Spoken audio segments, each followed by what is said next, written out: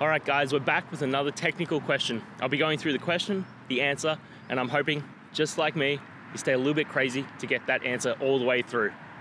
Guys, let's get started.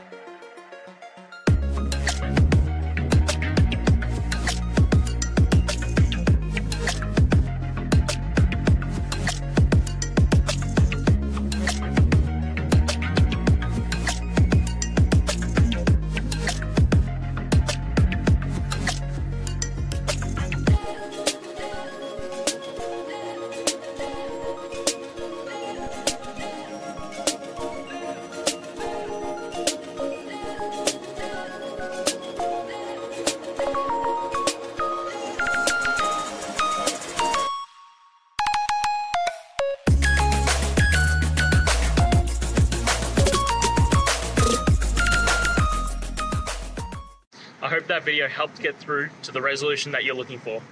If it did, please hit subscribe. I really appreciate it. And until next time, I hope you have a great one. Cheers.